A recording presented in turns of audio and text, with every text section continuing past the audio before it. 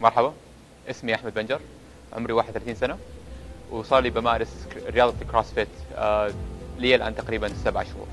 أنا إنسان آه، بمارس الرياضة يعني من عمر صغير جدا آه، بدأت بالكورة زي أغلب السعوديين بعدين صرت أسوي body building رفع أثقال في ال global gyms الجيم العادية طبعا. ولكن بعد تقريبا أربع أو خمس سنوات من ممارسه رفع الأثقال. وصلت لمرحلة الملل. كان كنت أفتقد إلى اللياقة أو طول النفس زي ما يقولوا. كنت أتعب على طول. يعني ما كنت أقدر أجري أو أسوي أي رياضة أو أي شيء لمدة طويلة. فكنت أبحث لشيء إنه ي- يزيد السترينث تبعي وفي نفس الوقت يزيد من اللياقة أو ال aerobic capacity إلين ما فتح Interval CrossFit وسجلت فيه أول ما عرفت عنه طبعا. وأعتقد إنه هذا كان أفضل استثمار أنا سويته هذه السنة أو سنة 2016 بعد ما بديت أمارس رياضة CrossFit آه، أمور كثيرة تغيرت. إذا كنا إحنا نتكلم عن الناحية الجسدية ف جسديا أو لياقيا أنا أعتقد إنه الآن أنا في أفضل مرحلة في حياتي. هذا من الناحية الجسدية ولكن ال CrossFit غيرت فيها أكثر من كذا يعني غيرت فيها كشخصية. آه مثلا علمتني آه، علمتني الصبر.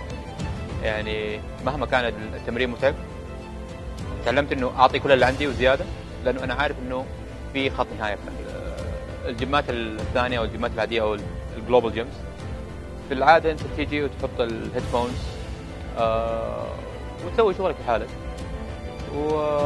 ويمكن صادفت أحد من أصحابك سلمت عليه ولكن بصفة عامة أنت بتشتغل لحالك. ال- ال- الرياضه فردية جدا. ولكن ال CrossFit رياضة اجتماعية جدا. الأجواء الجيم كلنا هنا في الجيم أصحاب وكلنا علاقتنا تطورت إلى ما بعد الجيم. فرياضة الكروسفيت جمعتنا وجمعتني بناس جدا كويسين وناس أنا جدا سعيد بإنه أنا قابلتهم. يعني أنا في البداية كذا شفت آه، شفت ناس بتشيل أوزان فوق راسها وحركات غريبة وحركات كنت بس أشوفها في التلفزيون وما اعتقدت في يوم من الأيام أو ما ظنيت إنه أنا أقدر أسوي الحركات هذه. ولكن آه زي ما قلت العزيمة وال وال والأهم شيء المثابرة والالتزام بالتمرين. آه حتلاقي نفسك بتسوي نفس اللي هم بيسووه وأحسن إن شاء الله. ولكن آه خذ الموضوع انت خطوة خطوة وال والنتائج إن شاء الله حتكون حتشوفها في أقرب وقت.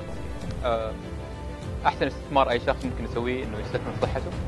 وإحنا الآن دخلنا في 2017 وأنصح الجميع إنه يقرروا قر- قرار ويبدأوا صفحة جديدة و آه، ينتبهوا على نفسهم وينتبهوا على صحتهم. أنا أنصح برياضة الكروسفيت لأنه أنا أتكلم من آه، تجربة شخصية غيرت فيها الكثير.